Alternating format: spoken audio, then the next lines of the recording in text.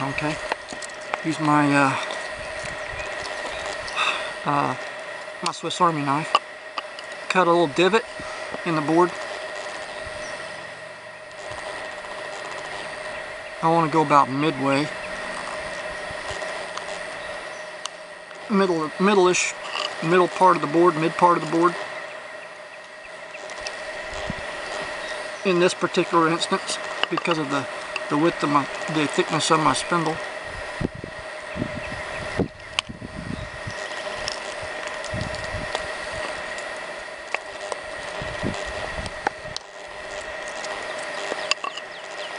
And this little divot just gives the uh,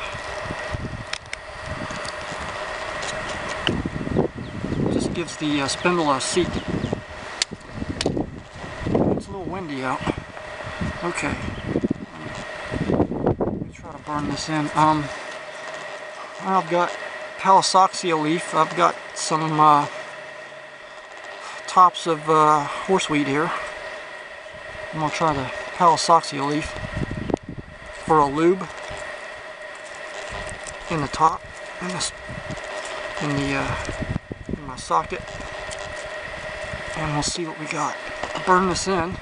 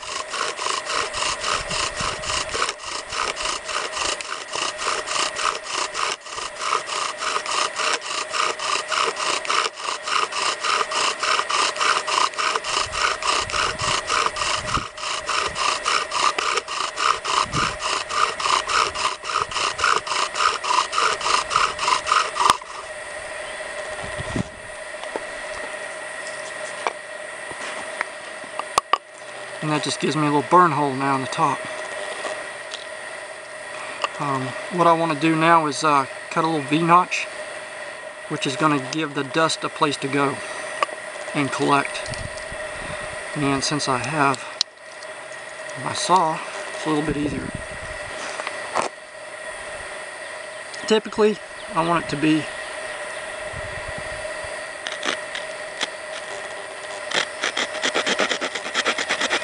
uh, maybe a third to two thirds the size of the the uh, burn hole.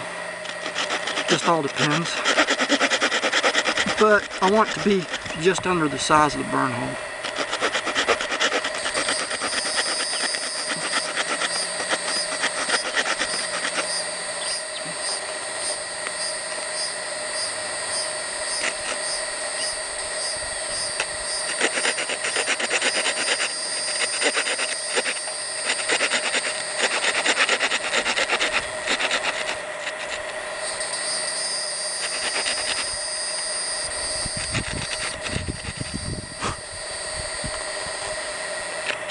And when I cut it, I want to bring the base of the V all the way to the center of the burn hole. So I get more dust from it. And that should be pretty good.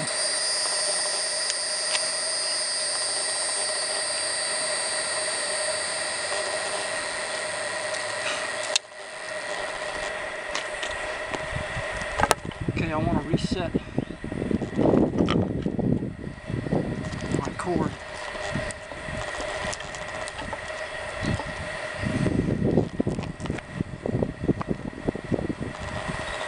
Sure it's tight.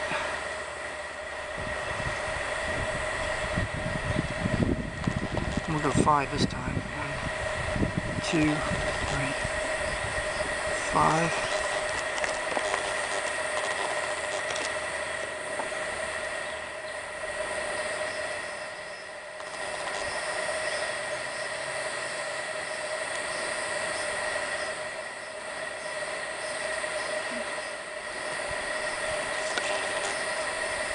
Have another Palisoxia leaf.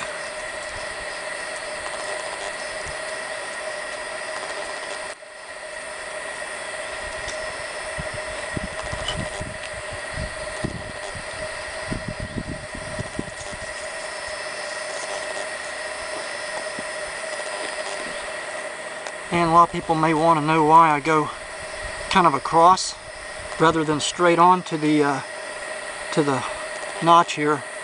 And the reason is because when I cut this notch, it makes this board uh, makes it weaker at that point. And if I go across direction to the board with the uh, the pressure that's being exerted on the board from the spindle, um, it's not as hard on this notch.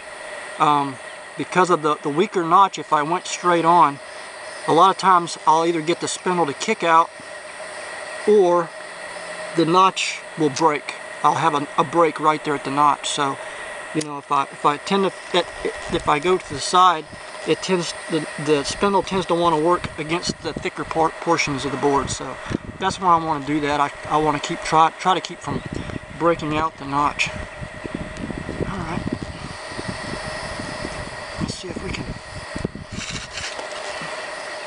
Oh, I could have picked a uh, a bow that was a little a little lighter. this one's a little heavy. On the heavy side. A little bit ungainly.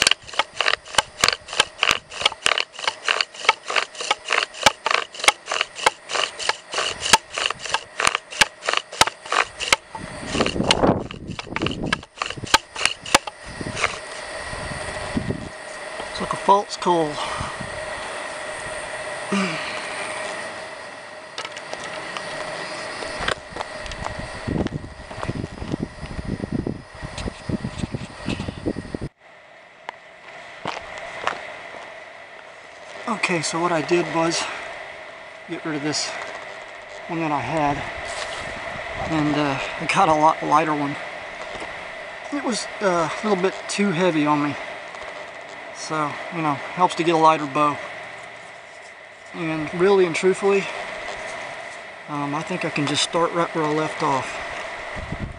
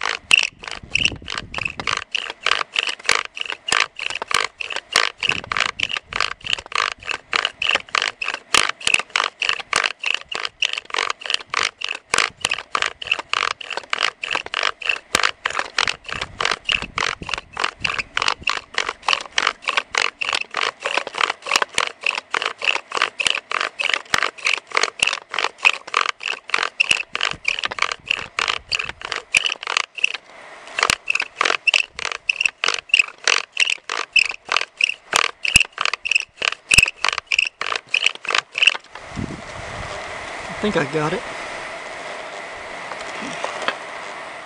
Oh yeah. Okay.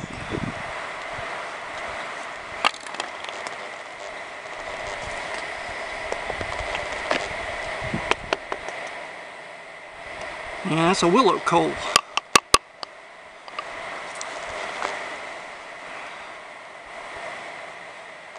Smells good too. Expand it a little bit.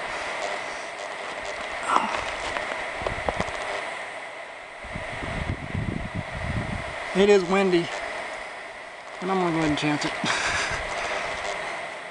Everything's green, nothing's dry or dead. Um, a lot of places um, don't have uh, palmetto, but it's one of the easiest ways I know of to get a tinder bundle. Um, just a dead frond and stem and I just break the stem off and shave the stem down to get these nice dry shavings and just stick them right in the frond and it's good to go. Quick, easy, um, tinder bundle.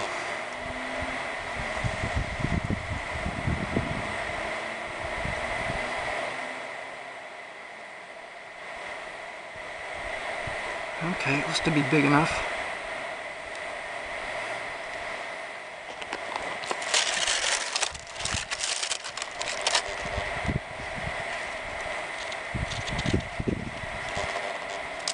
piece of uh, palmetto for a coal catch. Palmetto frond, green one.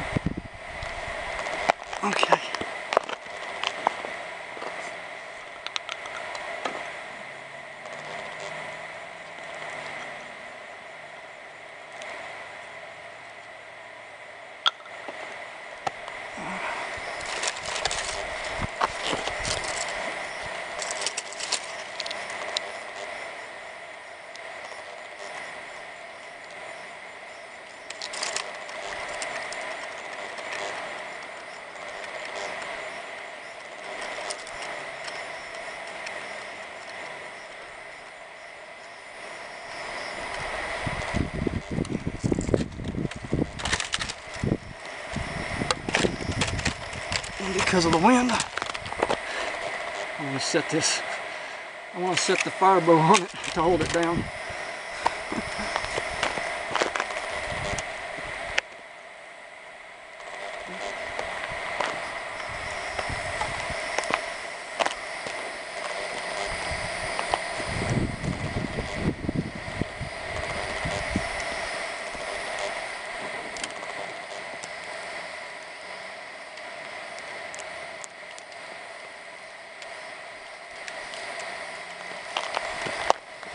So just a nylon cord, willow, spindle, board, and uh, a scrub oak uh, bearing block or socket. And this is uh, Virginia or uh, sand pine. Thanks for watching.